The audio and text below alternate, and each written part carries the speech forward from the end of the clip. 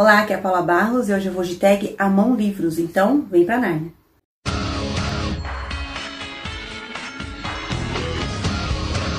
Então, gente, essa tag, né, originalmente feita pela Thaís do Pronome Interrogativo, junto com a Dessa e o Lucas, que eu vou deixar os links dos canais deles aqui. Eu achei interessante porque os meus filhos gostam muito de jogar, eu ainda não fiquei, ainda não fui pega por esse jogo, não, não por falta de insistência deles, mas acho muito interessante e como eu gosto de suspense, né, é um pouco ligada aí a suspense, esse jogo. E vamos lá, a tag achei bem interessante, as perguntas aqui, as sugestões. Então vamos lá. Então aqui a primeira questão aqui é Reunião de Emergência, é um livro que você quer desesperadamente todo, que todo mundo leia. É claro, né, que o livro que eu quero que todo mundo leia é da Agatha Christie, qualquer um, mas principalmente os que eu já li, né, eu não li todos ainda, então eu esse aqui que eu li esse ano, então eu coloquei aqui A Morte no Nilo. E acho muito, eh, sempre, né, a Agatha arrasa nas histórias, que a gente nunca sabe quem, o que vai acontecer no final, apesar que a gente faz suposições, ela faz a gente se enganar completamente, ou engana a gente assim que a gente acha que é aquilo, mas ela começa a mostrar pra gente que não é, e no final até que pode ser, e aí você fica meio, sabe, ela coloca tantos personagens, tantos suspeitos na história, que aí você fica, né, na dúvida. Por mais que você pense assim, no final tem, sempre alguma surpresa. E o Morte no Nilo não é diferente. Indico aí, vai sair o, o filme, né, em 2021. Espero que não saiu esse ano por causa da pandemia. Mas em 2021 espero que saia o, o filme da Morte no Nilo. E é isso aí, é um livro que eu sempre indico. Qualquer um da Agatha tá aí, né? Agora, outra questão é reportar um livro de suspense com uma resolução surpreendente. Então, assim, não sei se é bem suspense, mas o livro que eu li esse ano com uma resolução surpreendente, com certeza é Verity, né? Que eu fiquei assim, ah, embasbacada com o final. Eu falei, gente, pelo amor de Deus, essa autora, Colin Hoover, me enganou completamente, né? Eu me senti uma otária no final dessa história. Então, recomendo, é pesada, um pouco pesada. Mas o final, assim, você fica, o que que é isso, né? Essa pessoa aqui me fez otária a história inteira, o tempo inteiro. Então, recomendo e é bem surpreendente o final. A outra questão é, deixa eu ver aqui.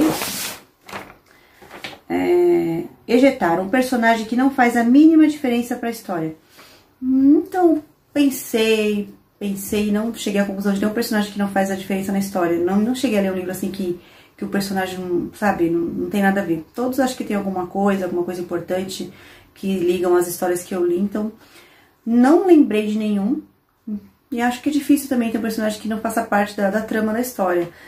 Quem sabe futuramente eu leio uma história assim, mas provavelmente não vou gostar, né? Um personagem que não tá nem aí. Geralmente é um personagem ou pra enganar, você achar que ele é suspeito de alguma coisa, né? No caso de livro de suspense, ou ele tem que fazer alguma parte daquela história, senão fica sem sentido. Então, esse ano, graças a Deus, eu não li nenhum livro assim.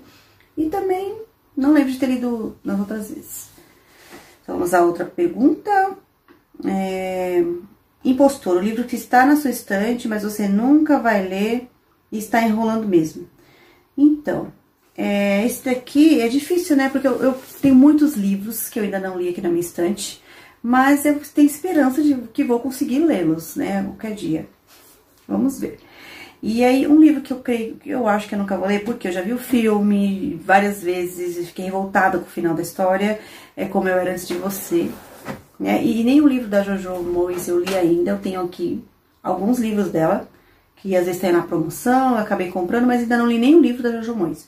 Eu tenho amigas minhas que amam é, essa autora, mas eu ainda não li nenhum livro dela e eu acho que esse aqui, eu tenho a trilogia dele. E falam que o segundo é pior, sei lá, o terceiro melhora um pouco, então eu acho que eu nunca vou ler esse livro. Vamos lá, próxima pergunta. The, é, The Skill. É um livro de ficção científica que você quer muito ler. Então, deixa eu ver que eu separei aqui de ficção científica que eu quero muito ler. Com certeza do C.S. Lewis. Né? Essa que é uma trilogia que eu comprei há pouco tempo. E esse é o, o livro 1, que se chama Além do Planeta Silencioso é da trilogia cósmica. Gente, olha que livro maravilhoso, né? A Thomas Nelson arrasa. Olha esse corte aqui colorido. Com todas as edições aqui que eles lançaram do C.S. Lewis. Então, essa é uma trilogia de ficção científica. Então, como todas as obras do C.S. Lewis, eu pretendo ler em 2021, em breve, né? Por aí, ano afora, eu pretendo ler todas as obras dele um dia. Quero muito ler essa, essa trilogia. Então, o outro é Polos, um livro que fez você sentir outro universo. Então, com certeza, o fim da infância, essa obra maravilhosa do Arthur C. Clarke. É, eu comecei a ler por causa do Resenha dos Sonhos, né, que ela indicou esse livro, a, a Tami. Então, assim, é um livro realmente surreal, que você se imagina em outro planeta, em uns outros universos, viajando pelos universos, conhecendo novos planetas.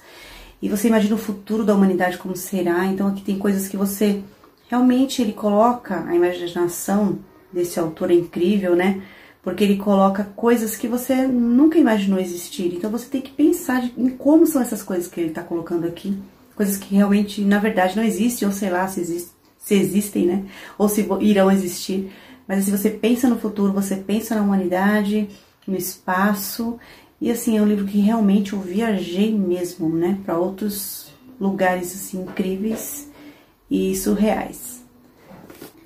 Então a outra tag é Mira HQ, um livro que todo mundo te indica para ler.